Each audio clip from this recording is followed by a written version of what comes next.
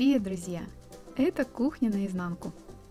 Под моим видео 5 ужинов на неделю из одной кастрюли риса вы оставили очень много комментариев с просьбой показать рецепты из гречки. Я не уверена, что расскажу вам что-то новое, мне кажется, что так все и готовят. Но вопросов было очень много, поэтому я не могла не снять это видео для вас. Покажу, что я готовлю из вчерашней гречки и отвечу еще на парочку вопросов, которые чаще всего встречаю в комментариях. Начну сегодня с самого простого рецепта. Завтрак за 2 минуты. Омлет с гречкой. Я приготовлю одну порцию, но если нужно больше, просто увеличиваю количество ингредиентов. На одну порцию беру одно яйцо. Взбиваю вилкой. Добавляю сюда полстакана гречки и 30 граммов натертого сыра.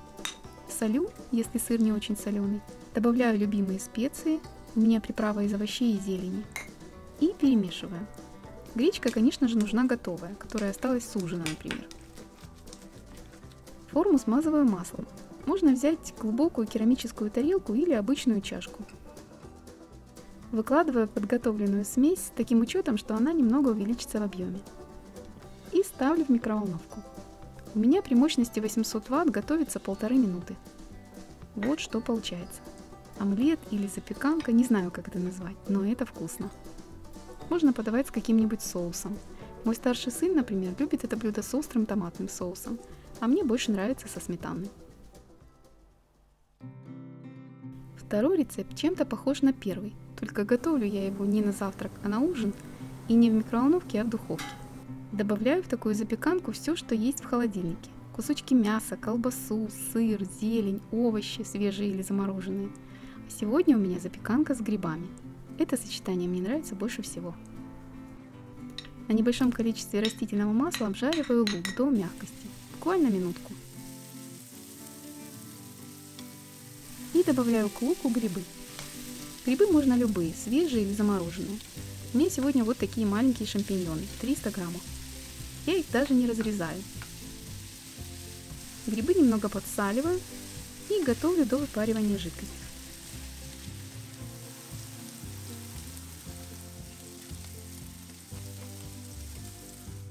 В миске взбиваю 3 яйца,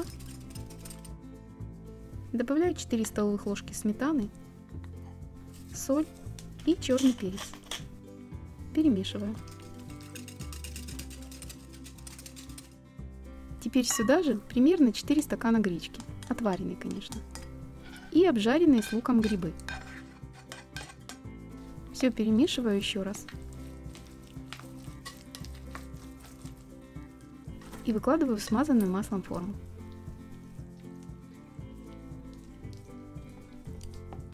Духовку включаю на 180 градусов. Ставлю в нее форму и готовлю 20-25 минут. Снова напишут, что новая духовка. Да, меня действительно часто спрашивают, чем и как я мою духовку, что она у меня всегда такая чистая, как новая. Но нет никаких секретов. Я уже когда-то рассказывала. Использую обычные чистящие средства. Просто обязательно протираю духовку внутри после каждого использования. Даже если кажется, что все чисто, даже если блюдо готовлю под фольгой, все равно протираю. Если вдруг что-то отмыть не получается, наливаю в противень немного воды, включаю духовку на 200 градусов и кипячу воду минут 7-8. После этого все очень легко отмывается. Все просто. Ну, здесь все уже готово. Вот такая-то запеканочка в разрезе. Вполне полноценное блюдо. Но, конечно, можно подавать и в качестве гарнира. Это намного вкуснее, чем просто гречневая каша. И в холодном виде тоже очень вкусно. Можно даже в дорогу с собой взять или на работу на обед. А теперь салат. Очень необычный, сочный, легкий и очень ароматный. Основные ингредиенты – баклажаны и гречка. Несмотря на его не супер аппетитный вид, это очень вкусно. Особенно мне нравится такой салат, когда он настоится. Баклажаны очищаю от кожицы.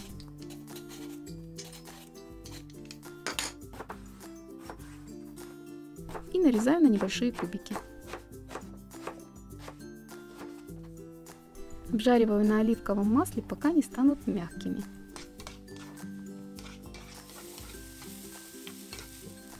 Солю. Когда баклажаны готовы, отставляю и даю им остыть.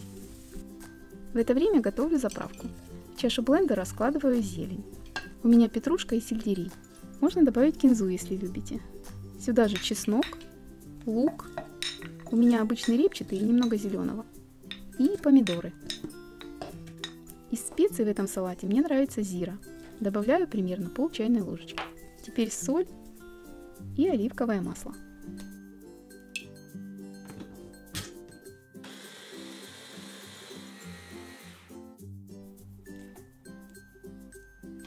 Остывшие баклажаны выкладываю в миску. Сюда же гречку и заправку. Перемешиваю и подаю. Можно сверху украсить перьями лука и зеленью. А чтобы салат смотрелся повеселее, добавляю еще кусочки помидоров. Если вы любите гречку и овощи, этот салат вам точно понравится. Для летнего перекуса то, что нужно. Легкий и в то же время сытный. Особенно вкусно, если хорошо остудить. Ну и, конечно, как же летом без кабачков? Кабачковые оладьи с гречкой. Очень просто, очень быстро и вкус потрясающий. Даже те, кто гречку не очень любит, от такой закуски не откажутся. Кабачок, примерно 500 грамм, натираю на крупной терке. Солю. Отжимать не нужно. Добавляю сюда же одно яйцо, 4 столовых ложки муки и черный перец. Перемешиваю. И добавляю примерно 500 граммов отваренной гречки. Снова перемешиваю и выкладываю тесто ложкой на сковороду с разогретым растительным маслом. Обжариваю с двух сторон на небольшом огне.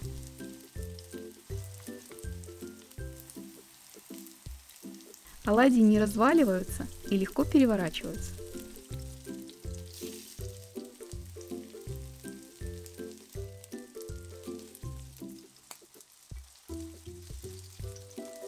Внутри получаются мягенькие и сочные, а снаружи хрустящая корочка. Для этого рецепта я частенько даже специально отвариваю гречку. Вкусно и просто. А теперь эксперимент. Попробую рецепт, который мне прислала Екатерина Каримова. Уж очень он интересный. И просто, как я люблю. Гречку нужно отварить до готовности и хорошо остудить. Ну, у меня гречка вчерашняя, поэтому уже давно остыла. Исходя из указанных пропорций, гречки я взяла 400 граммов, а лука около 300. В мясорубку установила самую мелкую сетку. Включаю и измельчаю. Теперь сюда соль, черный перец и специи. У меня снова приправа овощи с зеленью. Котлетки ее часто добавляют. Как я ее готовлю, смотрите по ссылочке в описании. Перемешиваю это все. Ну, как-то суховато получается. Добавь ложку воды. Добавляю. Ну, теперь вроде бы нормально. Но я бы, конечно, еще добавила муки. Ну, или хлеба для связки. А я бы мясо добавил. Ну, кто бы сомневался. Ну нет, больше ничего добавлять не будем. По рецепту осталось слепить и обжарить, как обычные котлеты.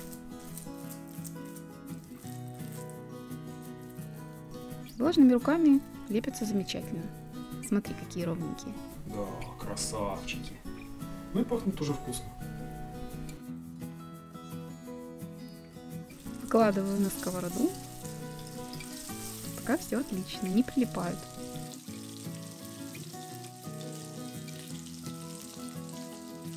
А вот переворачивать сложновато. Какие-то очень мягкие. Но я попробую. Получилось. Выглядят неплохо. Пахнут очень вкусно. Давай доведем до готовности под крышкой.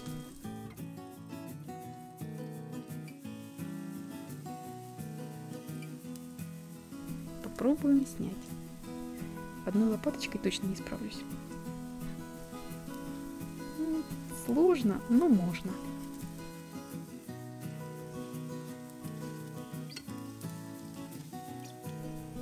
Вот такие котлетки получились. Ой, как же пахнут. Уже хочется попробовать. Получилось.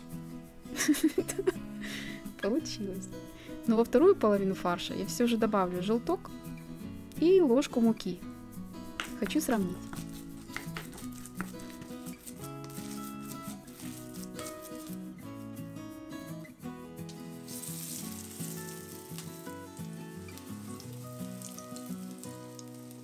Получилось еще 4 котлетки. Две я обжарю так, а две еще в муке обваляла. Переворачиваются вообще без проблем, как обычные мясные котлеты. И пахнут, как будто они с мясом.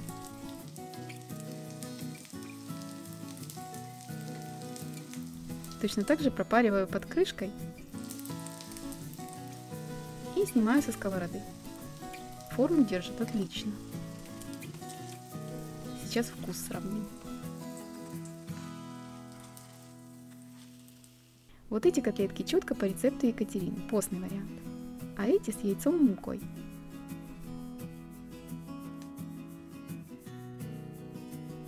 Мягенькие, очень вкусно пахнут. М-м, и вкусные. Супер, мне нравится. В пост точно буду готовить. Да, неплохо. Ну, видно, что каша. Слишком мягкие для котлет. Рассыпаются. Хорошо, попробуем второй вариант с моими дополнениями. Котлетка целенькая получилась. Да и выглядят как мясные, посмотри. Угу. И по вкусу очень напоминают. Супер. Я, конечно, добавляла раньше гречку в котлеты, но чтобы полностью из гречки, пробую впервые. Спасибо большое, Екатерина, за этот рецепт. Точно буду готовить еще. И всем рекомендую. Очень вкусно, просто и практически даром. Спасибо всем за комментарии и за рецепты, которые вы мне присылаете. К сожалению, не успеваю быстро всем отвечать и не получается сразу все попробовать. Но я очень много нахожу для себя нового и интересного. Спасибо вам за это. Все рецепты, как всегда, под видео в описании. Попробуйте приготовить. Буду ждать ваши отзывы. Ставьте лайк этому видео и делитесь им с друзьями. Подписывайтесь на канал и, конечно, жмите на колокольчик, чтобы ничего не пропустить. Впереди еще много всего интересного.